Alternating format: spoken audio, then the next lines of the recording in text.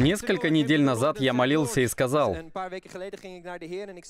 «Господь, это все намного выше моих сил. Я больше уже не могу выносить это.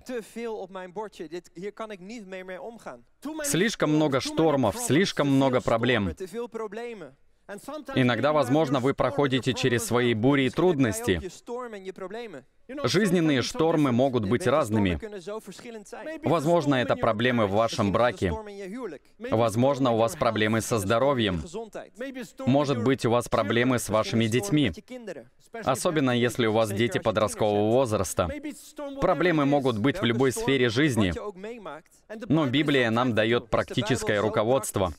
И я прибежал к Иисусу и сказал, «Господь, для меня это слишком много бурь и проблем. Господь, я теряю силы, что мне делать? Господь дает нам руководство к действию.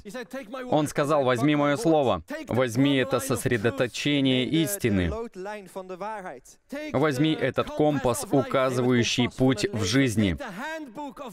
Это справочник, инструкция к жизни. Иди и посмотри, что я хочу сказать тебе.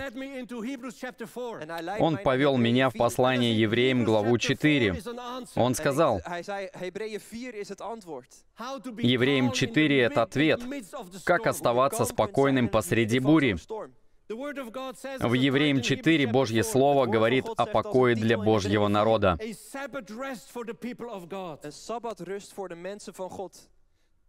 Четвертая глава Евреям, первый, второй и третий стихи. Будем опасаться, чтобы не оказался кто из вас опоздавшим, ибо и нам оно возвещено, как и тем, но не принесло им пользы, слово слышанное, не растворенное верою, слышавших.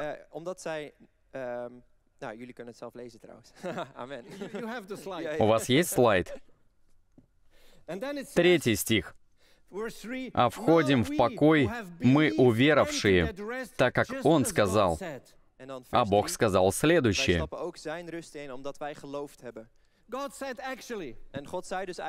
Бог сказал следующее, не совершайте ошибок, как делали поколения до вас. Они слышали Слово Бога, но не приняли его верой. Но вы, вы созданы из другого материала. Мы не являемся просто слушателями Слова. Мы поступаем по Слову Божьему. Мы идем по стопам Иисуса. Мы принимаем Божье Слово хватаемся за него. Божье обетование звучит так. Если вы в Иисусе, то Иисус в вас. Вам нужно войти в покой. Есть несколько видов покоя. Это может быть шаббат, суббота, один день в неделю. Когда вы стараетесь стать ближе к Богу, также речь может идти о дне, когда мы, как верующие,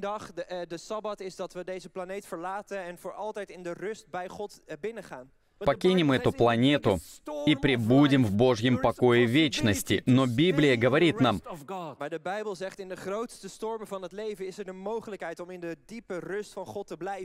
что даже посреди самого сильного жизненного шторма есть возможность оставаться в Божьем покое.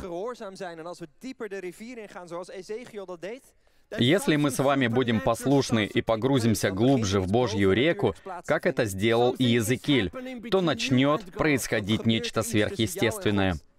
Что-то начнет происходить между вами и Богом. Божье Слово начнет открывать себя вам. В 12 стихе мы читаем Божье обетование, ибо Слово Божье живо и действенно, и острее всякого меча, обоюда острова. Оно проникнет до разделения души и духа, составов и мозгов, и судит помышления и намерения сердечные. Итак, какие бы вы жизненные трудности не проходили, Всегда в первую очередь обращайтесь к Иисусу, а не к вашему пастору. Затем мы погружаемся глубже в Него. Чем больше времени мы проводим с Ним, тем больше Его в нас. Божье Слово, вдохновленное Святым Духом, начинает открываться в нас. Если мы изучаем Писание, мы видим, какой силой оно обладает. В первой главе послания евреям сказано, что Бог держит все словом силы своей. Знаете, с момента, как Бог произнес Слово, Вселенная расширяется со скоростью около 74 километров в секунду. Это почти 266 тысяч километров в час. Огромная скорость. Ученые говорят, что примерная ширина Вселенной составляет несколько миллиардов световых лет километров. А Бог говорит, «Я измеряю творение своей рукой». Вот насколько он большой. Вот насколько он огромен. Я думаю, поэтому он говорит, иметь маленькую веру — это такой же грех, как ложь или воровство.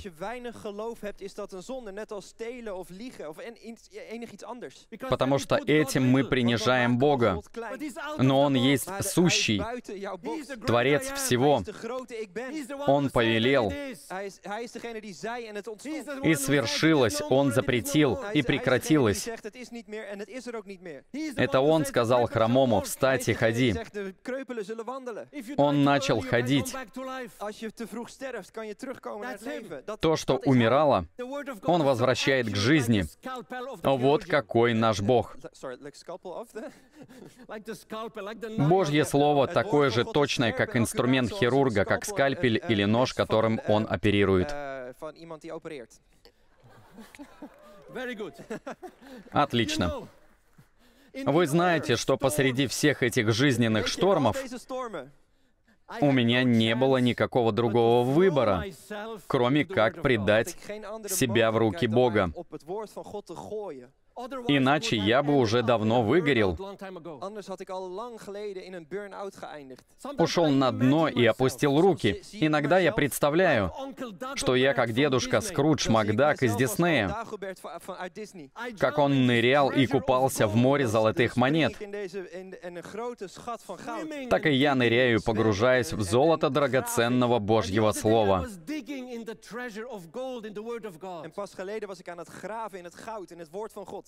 И я обнаружил то, что, как оказалось, многие уже обнаружили раньше меня.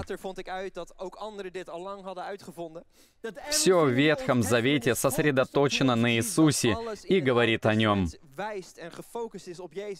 даже в перечислении имен. Я очень нетерпеливый человек. Обычно я пропускаю такие места и читаю дальше. Но однажды я все-таки решил не перепрыгивать эти стихи. В пятой главе Бытия я прочитал родословную человека. Адам значит человек, Сиф значит предназначенный, Енос значит смертный. Каинан значит предназначенный на горесть. Малилеил значит тот, кто благословлен Богом. Иорет значит сошедший или сходить вниз. Енах значит провозглашать. Мафусал значит его смерть принесет. Ламех означает отчаиваться. Ной значит отдыхать и приносить покой. Итак, если взять библейские имена из контекста и расположить по порядку, то в пятой главе Бытия Писания говорит, «Человек предназначен на горесть и смертность, но тот, кто благословлен Богом, сошел вниз, чтобы провозглашать, что его смерть принесет покой отчаявшимся.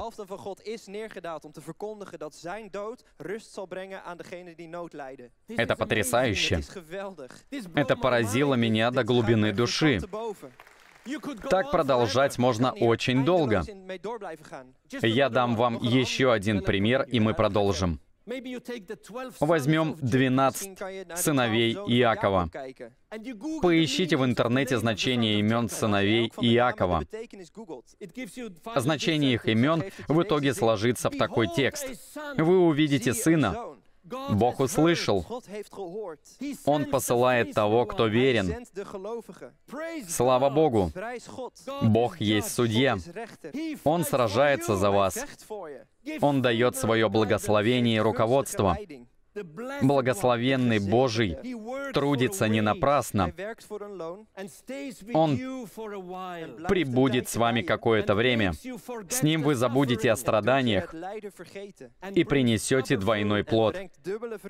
Он сын, сидящий по правую руку. Он сын радости. Аллилуйя. И это всего лишь несколько драгоценностей, которые можно найти в Библии. Например, еще тысячи лет назад Иов упоминал то, что современные ученые начинают выяснять только сейчас. Три тысячи лет назад Иов написал, что Земля подвешена в вакууме во Вселенной. Это было тогда, когда индусы все еще думали, что мир — это некая плоскость, которая покоится на спинах трех огромных слонов. А эти слоны, в свою очередь, стоят на спине гигантской черепахи. Это было в то время, когда Исаия сказал, что мир круглый. Это было время, когда царь Соломон писал написал свою книгу «Мудрости» и объяснил, как функционируют ветра на Земле. Например, в книге Иова сказано, что начало человеческого существа подобно комку шерсти. Но в XIX веке ученые все еще полагали, что человеческий эмбрион — это просто крохотный мальчик или крохотная девочка. Ребенок медленно растет в размере в утробе матери. И через 9 месяцев появляется на свет. Как Иов мог знать без микроскопа, как жизнь начинает развиваться в утробе матери? Если бы живой Бог не открыл ему этого. Если мы находимся под давлением, то мы прибегаем к помощи живого Божьего Слова, которое знает все и которое содержит ответы на все важные вопросы. Если мы так делаем, то нам доступно следующее Божье обетование. Евреям 4.16. «Посему да приступаем с дерзновением и престолу благодати» чтобы получить милость и обрести благодать для благовременной помощи. Итак, Божье обетование для нас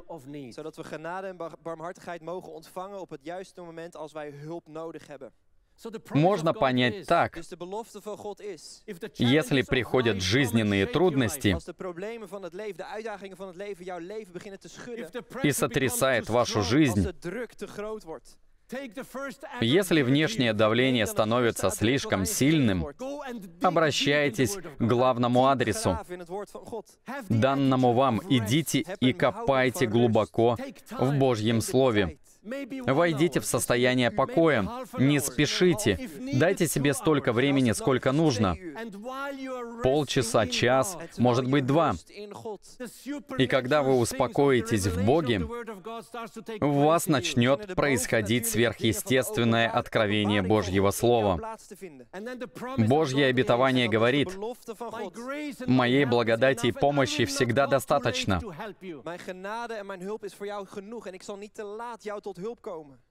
Моя помощь не задержится, я не опаздываю. Если я делюсь с вами чем-то,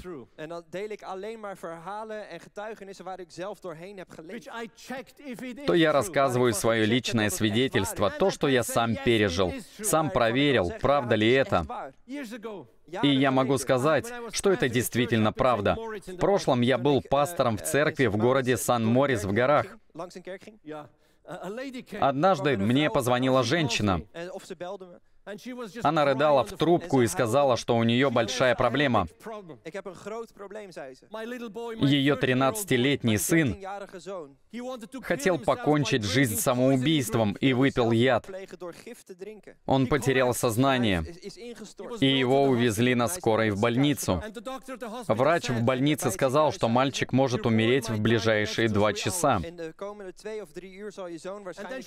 И она спросила меня, что мне надо делать и продолжила плакать. Я был рад, что она продолжила плакать, потому что я не знал, что ей ответить. И я испытал огромное давление. И под этим давлением я молился. Господи, что мне ей ответить? После десяти минут моих попыток войти в состояние покоя, я услышал, как Господь спросил меня, что произошло с этим мальчиком, когда ему было 9 лет. Я ответил,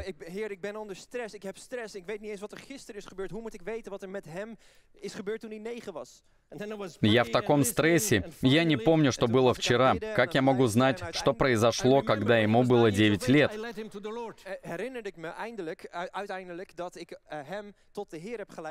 Я молился, слушал, и, наконец, я вспомнил, что когда ему было 9 лет, я привел его ко Христу.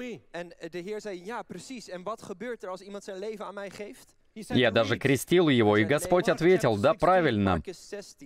И что происходит, когда человек отдает свою жизнь мне? Он сказал, прочитай Евангелие от Марка, 16 главу. Я был в таком сильном стрессе, что не помнил, что было написано в 16 главе от Марка. В итоге я взял Библию и прочитал Марка 16. Кто будет веровать и креститься, спасен будет, а кто не будет веровать, осужден будет. У веровавших же будут сопровождать сии знамения. Именем моим будут изгонять бесов, будут говорить иными языками, будут брать змей, и если что-то смертоносное выпьют, не повредит им, возложат руки на больных, и они будут здоровы. Я сказал матери, что у нас есть ответ. У нас есть Божье обетование. Еще не слишком поздно. Божьей благодати достаточно. Нам нужно оживить это Слово Бога в своих сердцах. Где-то 10 или 15 минут мы прославляли Бога по телефону и провозглашали истину Божьего Слова из Марка 16.16. 16. Несколько часов спустя позвонил врач и сказал, что мальчик вне опасности, что с ним все в порядке. А через неделю он уже вернулся на учебу в школу. Я буду уже заканчивать. Я хочу, чтобы вы знали, что это истина, знали, насколько сильно Божье Слово. В Писании сказано, что оно как молот, дробящий камень. Бог говорит, мое слово есть огонь поедающий. Но вы должны верить в это всем сердцем. Примите слово и держитесь за него. Стойте в вере, а потом начинайте произносить слово. Всякое слово, исходящее от Бога, не возвращается к Нему тщетным, но оно исполняет то, для чего оно было послано. Оно острее меча, обоюда острова. У меня есть дядя, ему 85 лет. Я молился за него 35 лет. В детстве он подвергался религиозному насилию. Поэтому, когда я пытался рассказывать ему Евангелие, у него всегда была очень агрессивная реакция. Он был бизнесменом. Он заработал много денег и потерял много денег. У него не было одной постоянной подруги. Я думаю, в каждой стране у него было по несколько подруг. И вот у него диагностировали рак. Ему 85 лет. я молился Богу и сказал, «Господи, врачи говорят, что он уже может умереть через пару дней. Я не могу представить, что значит для человека закрыть глаза на этой земле и открыть их в вечности и осознать, что он потерян, что он предстал перед Богом, своим Творцом. Что значит признать? Я никогда не верил в Тебя. И лишиться славной вечности. Я даже не могу передать, что я тогда переживал.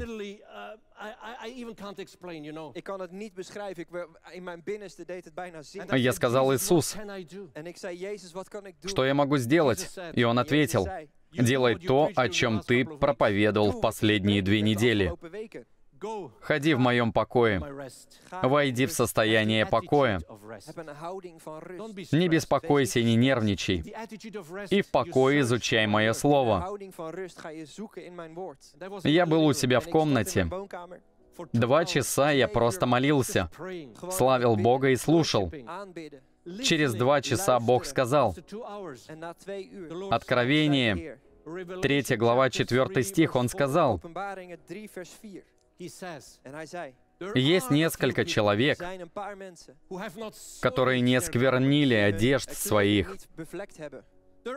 Есть те, чьи имена я запишу в книгу жизни.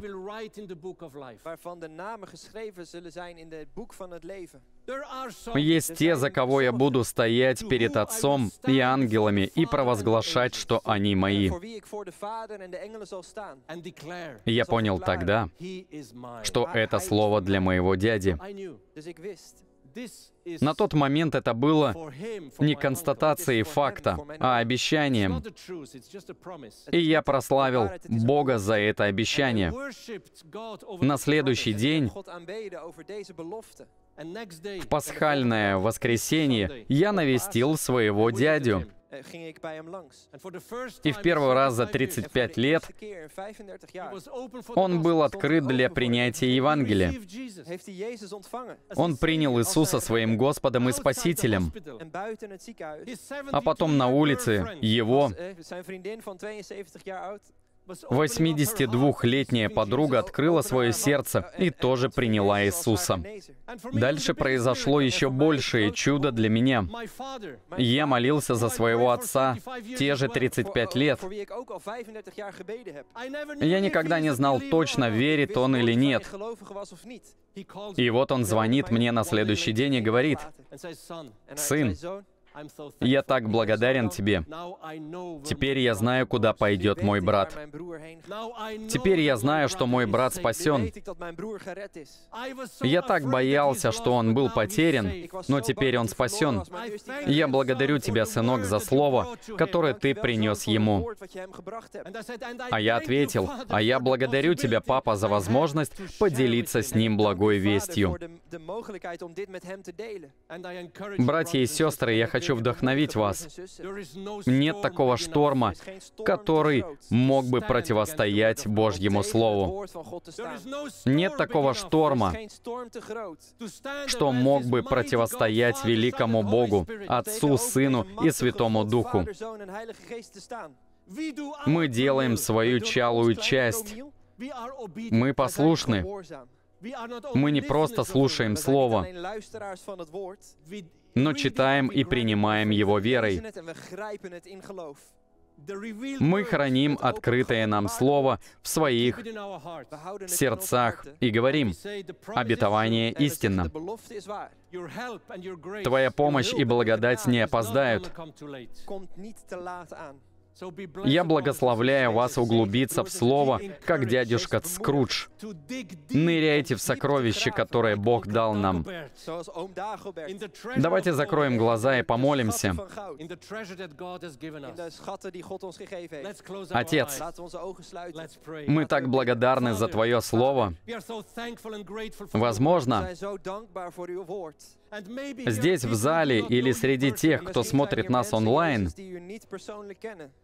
есть люди, которые не знают Тебя лично. Библия, Божье Слово говорит, верьте, что Иисус Сын Божий.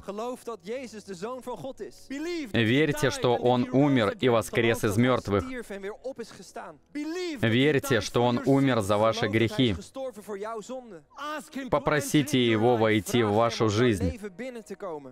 Попросите Его записать ваше имя в книге жизни. Попросите Его наполнить вас духом жизни. И попросите Его использовать вас как мощный инструмент славы в Его руках.